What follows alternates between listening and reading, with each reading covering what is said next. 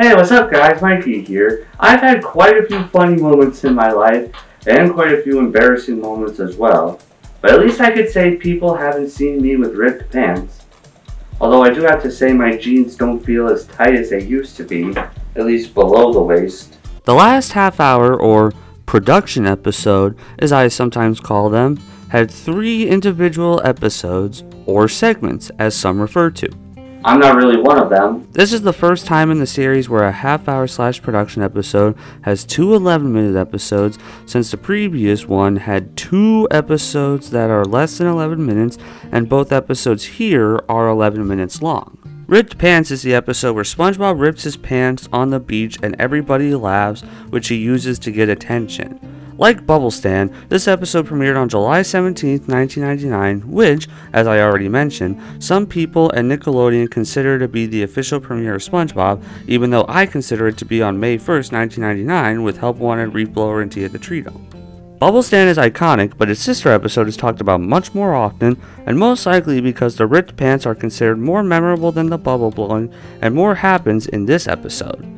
This episode introduces a lot of random background fish that make cameos in crowded scenes in the show, including Tom, the fish who is known for yelling, CHOCOLATE! in episode 102, Chocolate with Nuts. There's also more moments between SpongeBob and Sandy giving those damn shippers a reason to watch, which shouldn't be the only reason. This episode also introduces Larry the Lobster and Goo Lagoon. Larry's basically that one big and muscular guy you'd see at the beach. He's most well known as a lifeguard, but this isn't established until episode 82, SpongeGuard on Duty. This episode will just show off his weightlifting talent. He's not one of the seven main characters, but in my opinion, he's one of the most well known recurring characters. He's memorable compared to most of the background fish because he has a name that doesn't change from episode to episode like some of the fish, and is a sea creature other than just a fish. Goo Lagoon is also that stereotypical beach location in the series. An underwater beach. Sure. I feel this episode is one of, if not the most relatable episode of the series, since it features everything any average guy goes through embarrassment, making people laugh, taking jokes too far, and learning from his mistakes. All for a girl, I might add. This episode features the series' first original song, since Living in the Sunlight, which played in Help Wanted, is owned by Tiny Tim and not Nickelodeon. Growing up as a child, I thought that they would have professional songwriters and composers write the songs on this show, but as an adult, I learned that while the usual music composers create the track, but the writers of the episodes write the lyrics to the songs. The song featured in this episode was written by Peter Straus and Paul Tibbitt. Tibbitt was one of the writers for this episode, and Straus provides SpongeBob's suave singing voice for that song. But enough on random facts, let's watch the episode and relive one of the funniest episodes of the series. So the episode starts up and we're introduced to Goo Lagoon, the beach setting of Bikini Bottom. An underwater beach. Sure. SpongeBob and Sandy are hanging out at Goo Lagoon having a good time. SpongeBob starts playing with the sand and making Sandy laugh. During this little time, we are introduced to Larry the Lobster, when he comes up to them and asks them to come with him to lift weights. Sandy agrees, but SpongeBob looks visibly disappointed. He then takes them to Muscle Beach. When they get there, Sandy lifts a weight, and while SpongeBob doesn't want to watch Larry lift, he does. After this, he lifts a stick, but nobody is impressed. When he sees Larry lift the bleachers with a bar in the middle, SpongeBob grabs two, count 'em, two marshmallows for his stick to make it look like a weight. He tries to lift it, but he's not very strong, and he tries so hard he ends up ripping his pants, making this the perfect cartoon for anybody who's ever ripped their pants at some point in their life.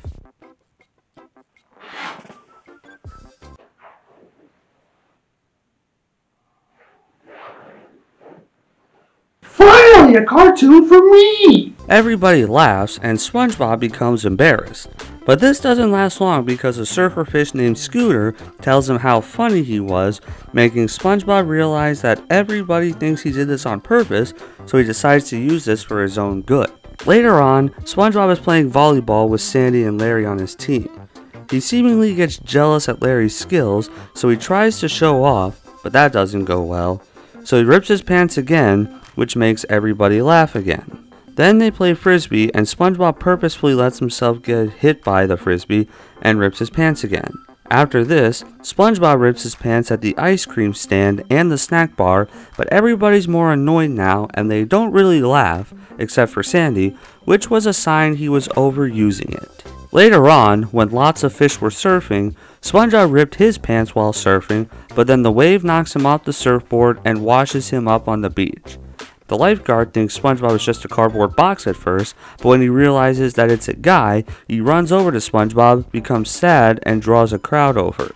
Sandy comes over too, and SpongeBob speaks weakly, but then he reveals he had only pretended to drown, which creates this lifeguard meme and makes everybody angry and they walk away in disgust, leaving him by himself. Even Sandy was mad at him since she was worried sick. After this, SpongeBob tries to think of something better, so he comes up with pants ripped off, but nobody was around to see this. But what made him the most upset was that Sandy left him by himself and hung out with Larry. At this point, SpongeBob realizes he didn't have to act the way he did to get Sandy's attention, and he thought he was the biggest loser on the beach. Then he runs into a girl who forgot to put on sunscreen, a guy who got sand in his buns, and a whale guy who everybody forgot about after they buried him in the sand. SpongeBob tells them that he lost his best friend. How'd he lose Patrick? Has he been there the whole time and we never saw him? SpongeBob grabs a guitar made out of sand and starts playing it, singing about his feelings and what happened, starting the iconic Ripped Pants song. The other three characters join him, girls gather around to see the performance, and SpongeBob sings very suave like. After the amazing song is over, SpongeBob and Sandy hug and become friends again. She tells him to be himself if he just wants to be her friend. Larry comes up too and asks SpongeBob to sign his pants. When he does this, SpongeBob's underwear rips, leaving him naked, and the episode ends. So that was Ripped Pants, and it is definitely amazing. As somebody who loves all the episodes, even the worst episodes of all time, I'd argue this is one of the best episodes ever. I'd also say this episode is more memorable than the previous episode, but that's because more happens and there's a fan favorite song. To show how popular this episode is, during the Ultimate SpongeBob Sponge Bash, a celebration of the show's 10th anniversary, this episode was voted as number 3 by fans, and Nathan Kress said this was his favorite episode. Even Tom Kenny himself said this was one of his favorite episodes, and the reasoning he gives here was pretty much me during high school and occasionally in college. It also re emphasizes my statement on why this episode is so relatable. The song itself has left an impact as well and was part of the SpongeBob's Greatest Hits CD released in 2009. During high school, I had a friend who constantly wanted to hear me sing the Ripped Pants song, which goes to show how great it is. Additionally, I like to sing along to SpongeBob songs when watching reruns, and this one is no exception. I also feel Larry the Lobster was shown off nicely. He's really that one dimensional, muscular guy on the beach who loves working out. Some of those people sometimes have a tendency to show off, like when he's lifting weights, but he still has a very friendly side.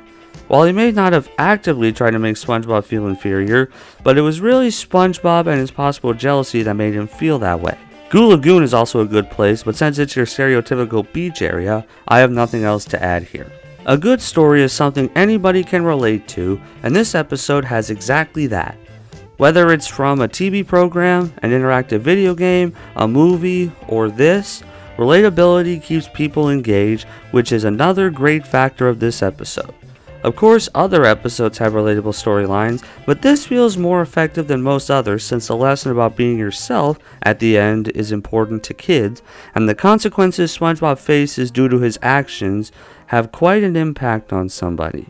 While the comedy and the song in this episode are legendary, the relatable storyline also sticks with people and is another reason why this episode is one of the most amazing episodes of the series, even to this day. Also, let's not forget the comedy. Look at this. And this. And this. Hilarious. Ripped Pants is stellar and still holds up as an amazing episode because of its story, comedy, and song at the end. And as somebody who occasionally did funny moments like that to get attention sometimes, this episode really speaks to me. However, since I apparently ripped my pants, I gotta get out of here before people find me and start laughing at me.